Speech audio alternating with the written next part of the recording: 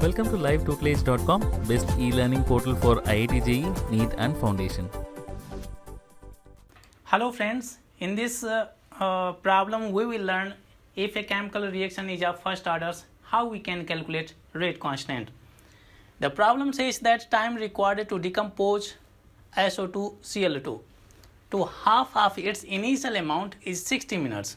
One decomposition reaction is taking place and the reactant is SO2 Cl2. It is decomposing into SO2 and Cl2. This is a first order reaction. Its initial amount is suppose X is given X gram and in 60 minutes it reduces to half of its amount it means X by 2 gram. Time taken is 60 minutes. Now question further says that if the decomposition is a first order reaction, there is one coefficient, it is a first order reaction. Question asked to calculate the rate constant of this reaction. Rate constant means we have to calculate K. K is unknown. Time is given here. Time is 60 minutes. Therefore, we can calculate 60 minutes into seconds. 1 minute is equal to 60 seconds here we have 60 minutes multiplied by 60 seconds and per minute minute minute will cancel out. 60 multiplied by 60 here we get 3600 seconds.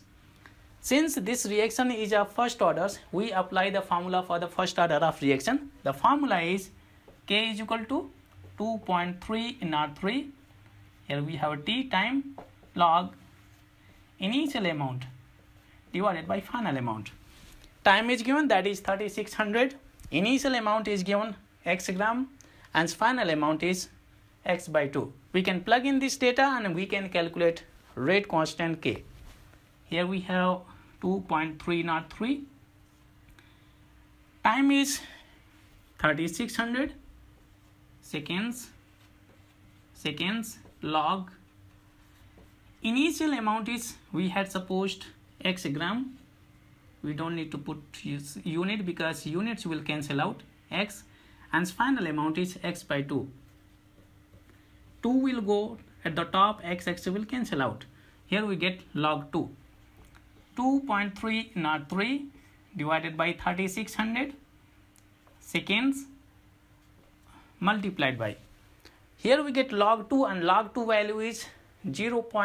3010 we can plug in this value 0.3010 and so when you multiply the top value and divided by 3600 you will get 1.9 multiplied by 10 to power minus 4 and since this unit is given per second it can be written as to power minus 1 per second this is the rate constant hope you might have uh, uh, understood that if a reaction is of first order how we can calculate the rate constant by applying the first order reaction formula. Thank you.